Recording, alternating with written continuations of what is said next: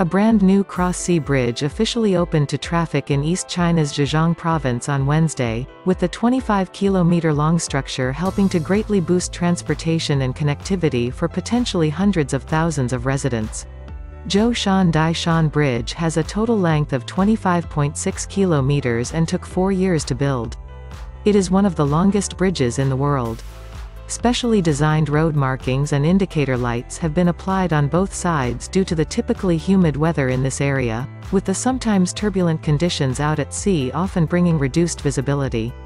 Meanwhile, elevated wind barriers which aim to protect motorists from strong gusts, reduce the effect of the wind and help extend the service life of the bridge are another notable design addition.